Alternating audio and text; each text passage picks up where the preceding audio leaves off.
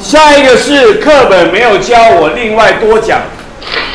台湾缺水吗？缺水。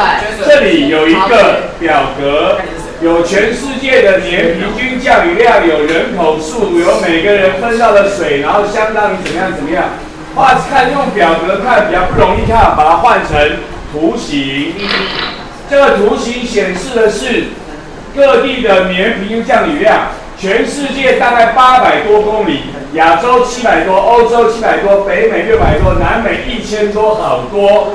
然后非洲比较少，也还是有六百多，看起来也不少。台湾两千五百多，也就是台湾的年平均降雨量大概是全世界的三倍，全世界的三倍，全世界三倍。所以我们降了好多的雨水，但是。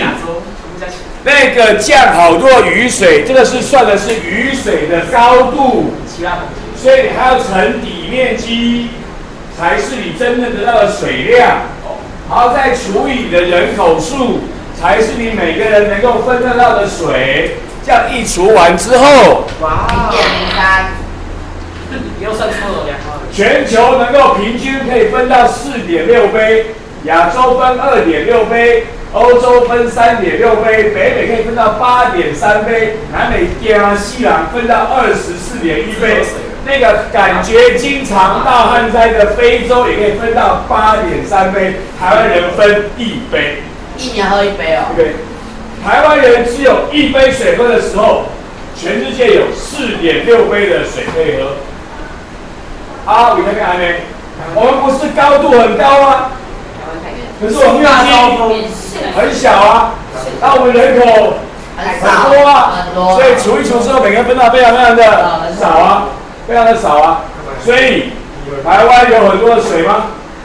没有啊。你不要觉得台湾好没事来个台风就给我闹水灾，就以为台湾水很多，没有，台湾水其实很少。这还叫乐观估计哦，保守估计，乐观估计。为什么叫乐观估计呢？那个是把你通通下来，通通算给你。可是有通通下，通通给你用吗？有。没有啊？地理老师教过，台湾山高水急啊，雨水下就这样奔流到海，不复不回啊，就流掉啊。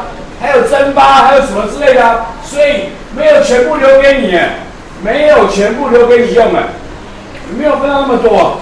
就好像乐观估计啊，其实你根本就没有那么多啊。山高水急，都流掉了，这妈就是不见了，没了，没有。啊，而且我还有还有一个问题，就是你们在地理上教过的，台湾南部有雨季跟干季，所以它那个分布非常的不平均，所以会很容易会闹旱灾，很容易会闹旱灾，很容易旱灾，有缺水啊这样的问题，麻烦就大。OK，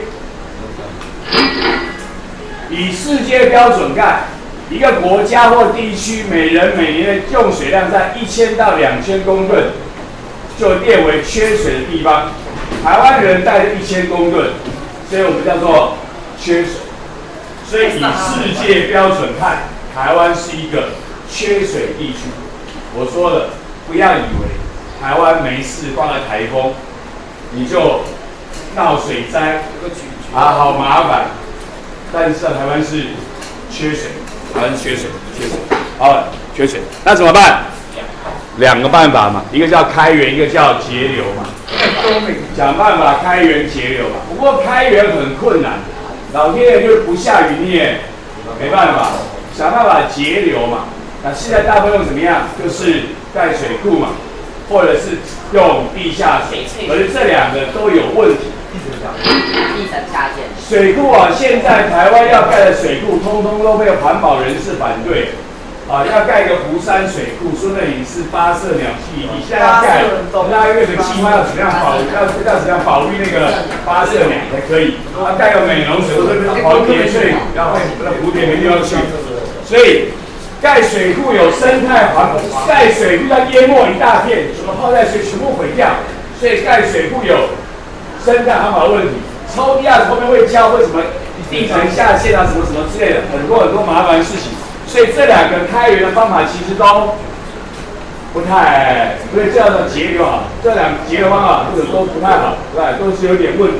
那么就怎么办？好好用吗？节约资源。哎，现在不要看到这个标章哦。